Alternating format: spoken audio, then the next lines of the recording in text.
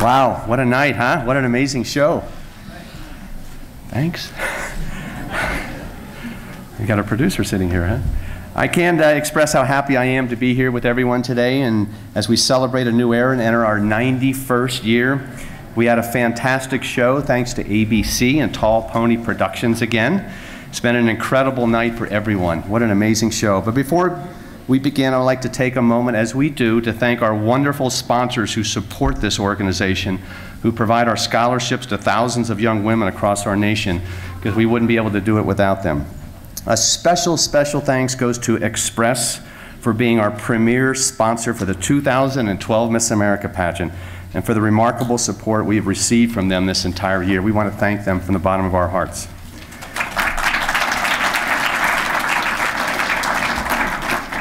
As Miss America 2012 is going to be traveling 20,000 miles every single month, she will be looking beautiful with the help of Artistry by Amway who is the official skincare and cosmetic provider for Miss America. We are truly excited about our upcoming year also. As you all know, the Children's Miracle Network Hospitals is our national platform, and Miss America 2012 will be their Goodwill Ambassador. So she will visit hospitals across North America and to help raise money and awareness for children with life-threatening illnesses. For the fourth year now, Miss America will have her wardrobe provided by Joseph Ribkoff.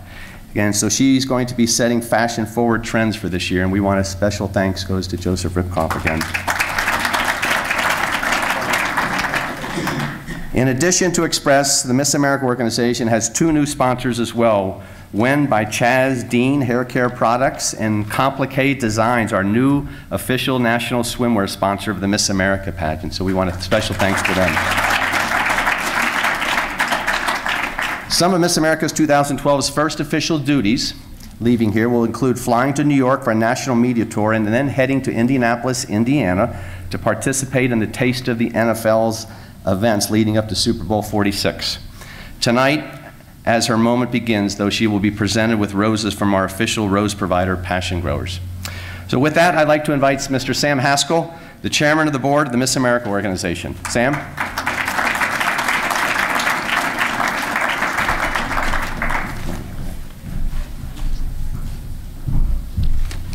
Thank you, Art. Well, we finished our 91st Miss America pageant, and we could not be more thrilled than to have Miss Wisconsin.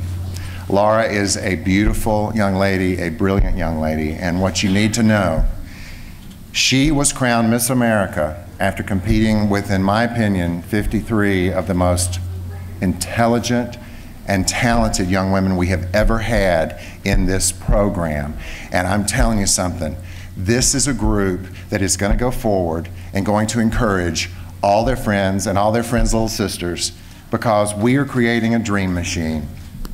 And when you think about offering $45,000 a year in scholarship money to young women all over this country, when you think about the impact it can have on lives, when you can think about the change that can occur in a young woman's life when she is awarded a scholarship to make her dreams come true.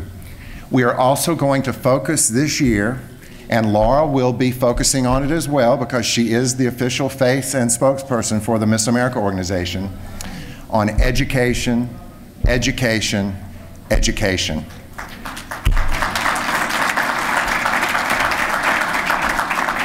What the children of this country need is to be educated. If children have dreams, they have to be educated. And we're going to provide the money for the education, and we're going to provide a concept that's going to focus on science and focus on technology and focus on engineering and math and the arts. We're going to create a program called STEM, S T E M, Science, Technology, Engineering, and Math. We are going to create a program that we can take to the local and the state levels that can encourage all young people, not just our contestants, but all young people to participate and to grow and to learn. And what better way than through what the Miss America organization can offer? I want to bring real quickly Tony Eaton, our executive producer, up. Tony, the network, ABC, and their executives, Mark Bracco and Jeff Bader, who are here tonight, came up to me after it was over and said, This is one of the best live shows we've had in a long time. And that did our hearts good, and we have this man right here to thank for that. Thank you very much. Appreciate that. He's been with us, he and his beautiful wife Lauren, who's had a little case of the shies tonight. But Tony and Lauren have been with us for four years, and as far as I'm concerned, they'll be with us as long as they will be with us because they will always be invited. Here's Lauren Harris Eaton. But just know you're going to be hearing a lot about what we're doing with education through the Miss America organization. We want to make a difference and continue to make a difference, and we are going to make a difference. Thank you. Thank you. You too.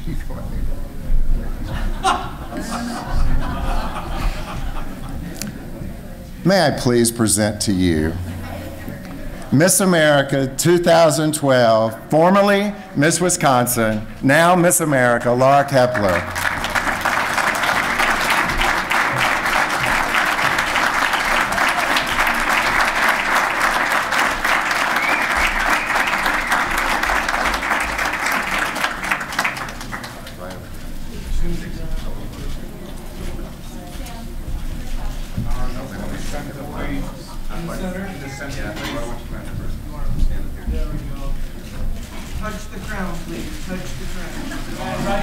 Right down the middle while do that.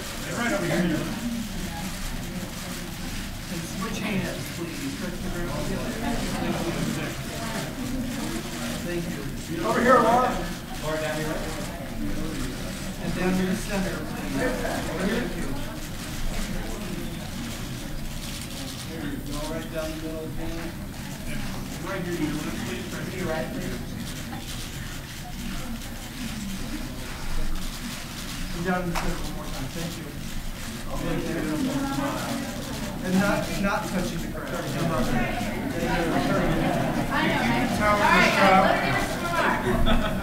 Thank you so much. I really appreciate all of the pictures.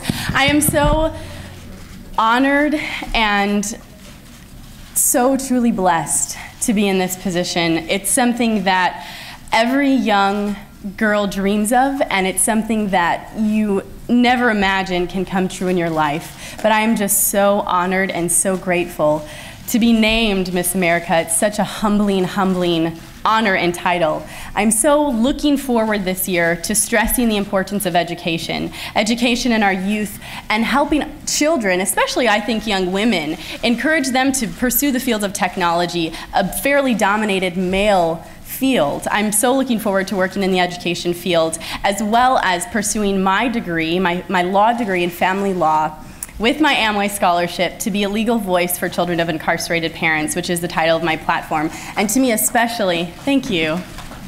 And especially to stress the importance of education to those young children, to encourage them to realize that education is the way to their future and that they don't have to follow the same norms as their parents who may have been incarcerated.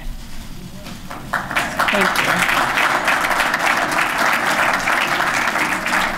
Yeah, Laura, before, before we go into any questions here, uh, we do have some special people that came by here to see you. Okay. So I would just like to bring up our judges, if I can.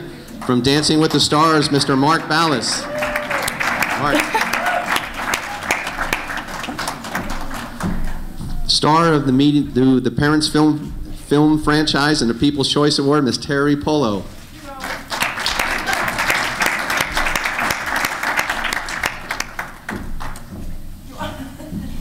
Creator of The Bachelor, Mr. Mike Fleiss.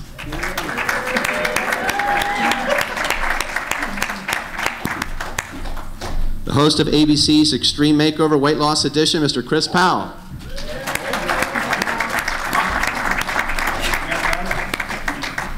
The star and executive producer of Keeping Up with the Kardashians, Kris Jenner.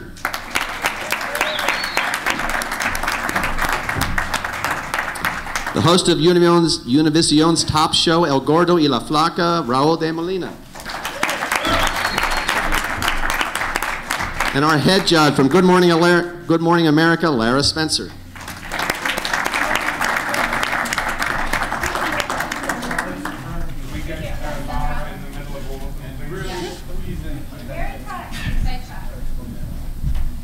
You guys want to take some photos first? Scooch over.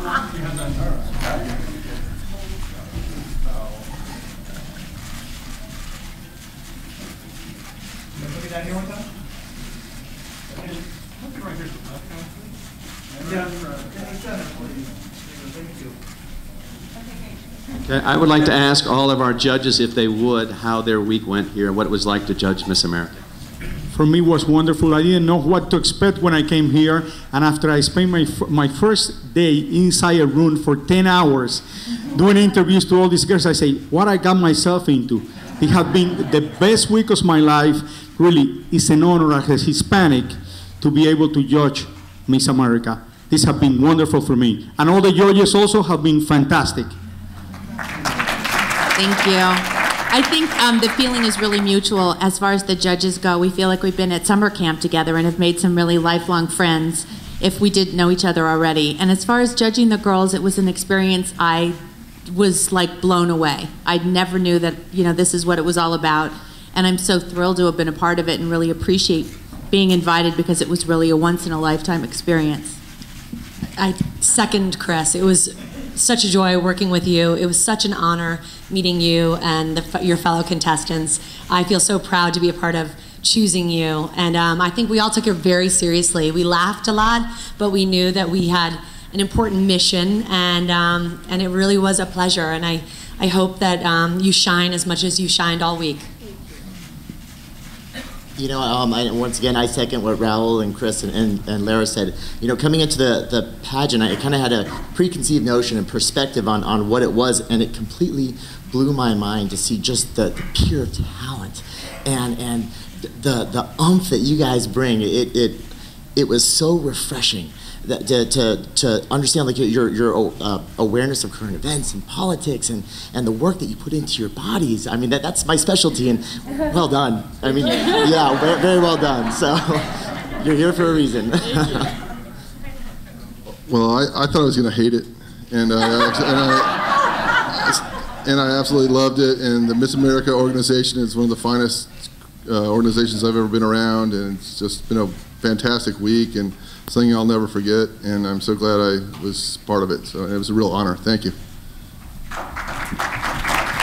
Uh, I, I think the thing that I was most impressed with was was the the, the organization itself as well um, as the girls, the the integrity, the uh, the compassion, the empathy, the warmth, the kindness, the caring, the selflessness was extraordinary throughout the entire organization, much less the girls. And you are extraordinary young women, and I'm I'm so proud for you, and I hope you're enormously proud of yourself because you're beautiful and lovely, and congratulations. Um, first, coming into this, I never thought I was going to be looking forward more to the onstage question and evening gown than the swimsuit round. So I really get really got into it and learning, you know, how well versed, how just beautiful and talented and educated these women are, and, and, to be a part of such an amazing organization that is offering scholarship to all these women um, was just you know an honor and a blessing, and I, am just super proud to be here. I'm proud of all the judges. I think we I think we nailed it, and um, you know really looking forward to uh, watching it back. Congratulations.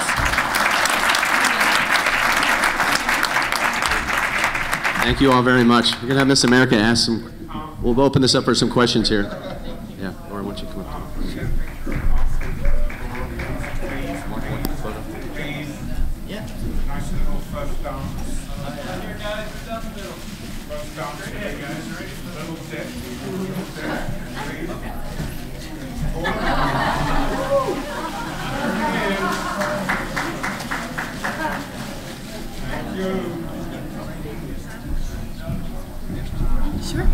Okay, we're going to open this up for some questions for a few minutes here. Oscar, you have a question? Yeah. Uh, congratulations. Thank you. Can you talk about uh, what this means to you and your family, especially because you made such a personal decision on your platform, and uh, you know what it's been like from from you know, the darkest valleys to, to now. I have such a personal connection to my platform, which is mentoring children of incarcerated parents. And it was such a struggle and such a difficult time in my life, but it has in turn made me able to pursue this platform and it's made me so much stronger. My family and I, as a whole, have decided to pursue this because we see the need for mentoring these children who have parents in prison. They are so much more likely than their peers to commit crime and end up incarcerated at some point in their own life. And so I decided to take that on because I was one of those children, but because I see how important the need for them is. There are more than 2 million children currently in our country who have parents in prison. It really was a decision that my entire family made, and I couldn't be more proud of my family for sticking behind me and supporting me in doing that. I think our next question is going to come from the uh, land of the rich and famous here. Two questions in one. Uh, The emotions that you went through when you were standing there with Miss Oklahoma and when you heard your name. So just hold that for one second.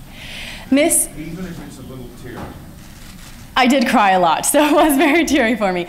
Miss Oklahoma, Betty Thompson, she is just the sweetest, sweetest young woman I've ever met. And we were standing there, and it was really dearing uh, to see the entire group of contestants actually all have very deep rooted faith. And the five of us prayed before we went on, and we just said, God's will will be done no matter what happens. And we were all at peace with that. And Betty looked at me and she said, You will be such a fantastic Miss America. And I said, Betty, don't say that. I don't know what's going to happen. Um, but we were all just so encouraging. I was crying before my name was even called.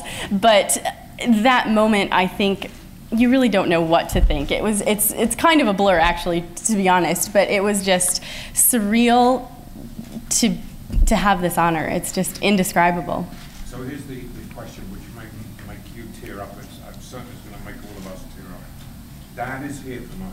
Yes. And there's a message out of what he went through that you will now convey to people. Mhm. What is, what is the message that both of you want to convey from this experience? Thank you for that question. We both are so. He, my dad is my best friend. He, he is. And you're right, you did make me tear up. He is such a strong supporter of me. And together, I'm so looking forward to sharing this journey with him because our overall message is that no matter what your circumstance, if you are in prison or you are not, you deserve a relationship with your child, and that child deserves a relationship with their parents as well. And I'm so looking forward to being that positive image for children and, and parents alike to let them realize that no matter what their current relationship with their child is, I am living proof that it can be the strongest that it's ever been. Did it make you stronger? Absolutely. We, my father and I have never been as close as we are today. He's my biggest supporter, and I'm so very proud of him. Want to come up here, Dad?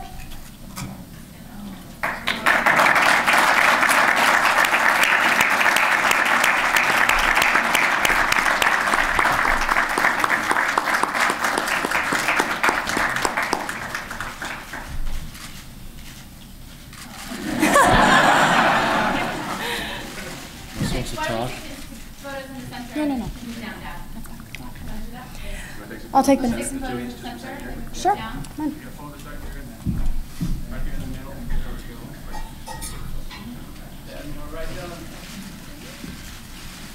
Down here, Dad.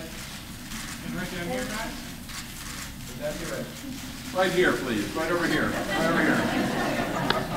Thank you.